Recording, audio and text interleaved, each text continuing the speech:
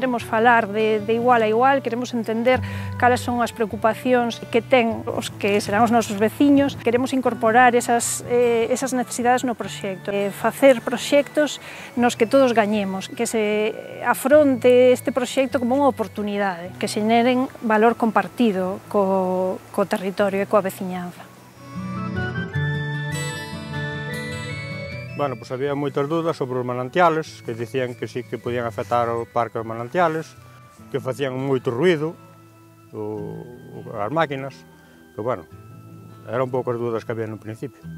O inicio a xente mostrábase un pouco reticente, porque Bueno, o documento é un contrato que contén aspectos xurídicos que a veces a xente non, non, non comprendemos así, así dun inicio directamente, entonces eu que sempre pretendo é mostrar todos os aspectos que, que contén a empresa con total sinceridade e que, que sexan comprensibles polos propietarios e que, se, e que vexan todo o que vai supoñer positivo para, para eles.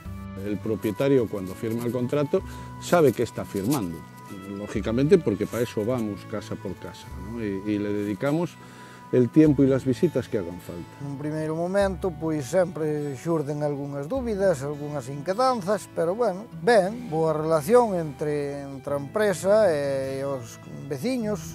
Sempre mirábamos polo, polo aporte que puidera meter ao pueblo, foi ben, positivo. Si ahora volvemos a, a, a hablar con la gente que nos ha dejado instalar máquinas en sus fincas, nos volverían a dejar. Sí, nos volverían a dejar, sí, sí. Sin duda, ¿no?